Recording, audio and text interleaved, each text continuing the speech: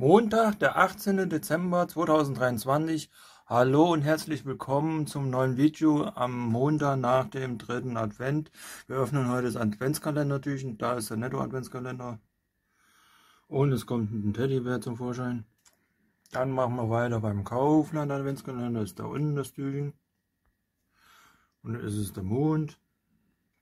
Das dürfte wieder der Aldi Adventskalender sein. Und da ist da unten das Türchen.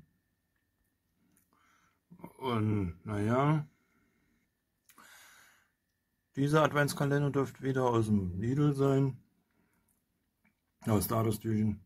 Und wie beim ersten Adventskalender, der Teddybär. Ihr wisst, was jetzt kommt. Da unten ist das Türchen. So sieht es heute aus. Bei diesem zweiten geschenkten Adventskalender, da ist da das Türchen.